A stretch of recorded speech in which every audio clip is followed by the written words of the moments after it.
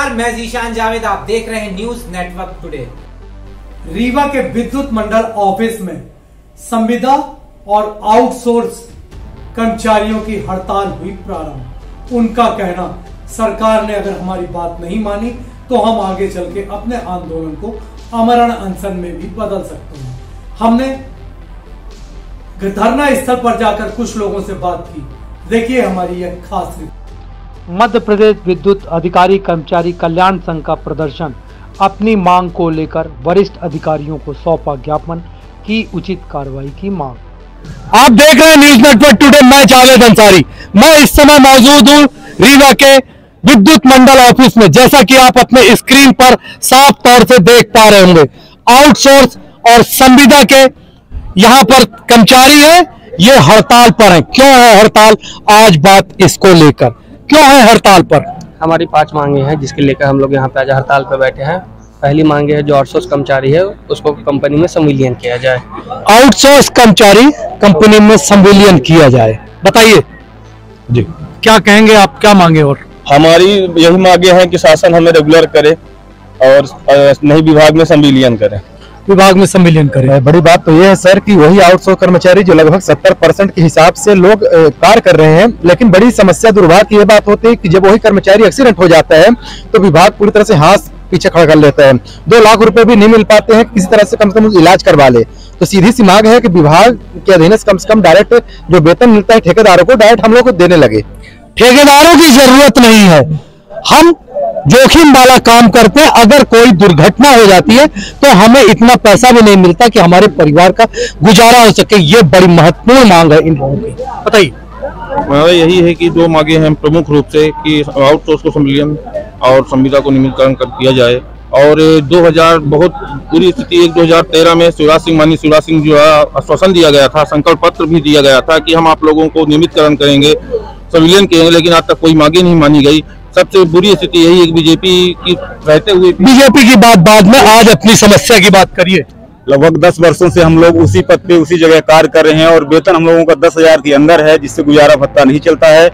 मैं शासन प्रशासन से मांग करना चाहता हूँ कि हम लोगों को विभाग में सम्मिलियन कराया जाए एवं संविदा कर्मचारियों को नियमित किया जाए एवं एक निश्चित वेतन मान निर्धारित किया जाए क्योंकि आठ हज़ार दस हज़ार में गुजारा चलने वाला नहीं है। इतने कम पैसे मिलते हैं कि गुजारा नहीं हो सकता। इन लोगों की ये मांगे हैं। क्या लगता है आपको कि मांगे जायज़ हैं? बिल्कुल जायज़ है और सरकार को इनके बारे में विचार करना चाहिए, इनकी मांगों को। क्योंकि पंद्रह साल से संविदा कर्मचारी संविदा पे काम कर रहा है। और 2013 में संकल्प पत्र में माननीय मुख्यमंत्री जी ने कहा था कि अगर मेरी गवर्नमेंट आती है तो मैं संविदा को रेगुलर करूँगा। आउटसोर्स आज बिजली विभाग में रेगुलर कर्मचारियों की बड़ी कमी हो रही है। रेगुलर कर्मचारियों की काफ़ी समस्या है। पूरे प्रदेश में जो भी बिजली आपके घर तक पहुँचती है ये आपको स्क्रीन पर मैं एक बार दिखाना चाहूँगा। बातचीत आगे बढ़ूं उसके पहले। ये जो आप लोग देख रहे हैं ये रीवा के लोग हैं। आपके घर का उजाला जब होता है जब ये लोग यहाँ पर 24 घंटे काम करते हैं। क्या मैं सही हूँ? हम्म, सही बात कर रहे हैं। आप लोगों के घर में जो उजाला मिल रहा है इन्हीं आउटसोर्स और संविदा कर्मचारी जो रेगुलर कर्मचारी काम कर रहे हैं उन्हीं के कारण। आज के विभाग में स्थिति ऐसी है रेगुलर कर्मचारी 10 परसेंट है आउटसोर्स कर्मचारी 80 परसेंट है 10 परसेंट संविदा कर्मचारी तो जो भी काम हो रहा है। ये सबसे बड़ी दुर्भाग्यपूर्ण स्थिति है।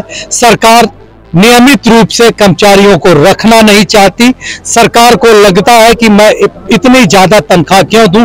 जब आठ हज़ार दस हज़ार में लोग काम करने के लिए तैयार हैं। लेकिन यहाँ पर जैसा कि ये लोग अपनी मांग पर अड़े अब आपको कब तक आपकी मांग रहेगी? ये जब तक हम लोगों का लिखित या कुछ ऑर्डर नहीं आ जाता तब लोग कंटिन्यू बैठे रहेंगे। और उसके बाद हम लोग अमरण अनशन चालू कर देंगे। ये तो हमारी अभी शुरुआत है। अगर हमारी बात नहीं मानी गई तो हम अमरण अनशन भी कर सकते हैं। हमारी केवल छोटी छोटी पाँच मांगे हैं। उन मांगों को सरकार चाहे तो बड़ी आसानी से पूरी कर सकती है। इन लोगों की सबसे बड़ी मांग यही कि इनको नियमित कर दिया जाए। इनको जब भी कोई दुर्घटना होती है, उस दौरान इनको क्षतिपूर्ति राशि थोड़ा बेहतर मिले, जिससे इनके परिवार का गुजारा हो जाए। लेकिन अब देखना दिलचस्प होगा। ये जो आपको स्क्रीन पर मैं एक बार फिर से दिखा रहा हूँ इन टीम का साफ़ तौर से कहना, अगर हमें नियमित नहीं किया गया तो हम अमरण अनशन भी कर सकते हैं। ताज़ा तरीन खबरों के लिए न्यूज़ नेटवर्क टुडे से जुड़े रहिए, चैनल को सब्सक्राइब करिए और बेल आइकन दबाइए और देखते रहिए न्यूज़ नेटवर्क टुडे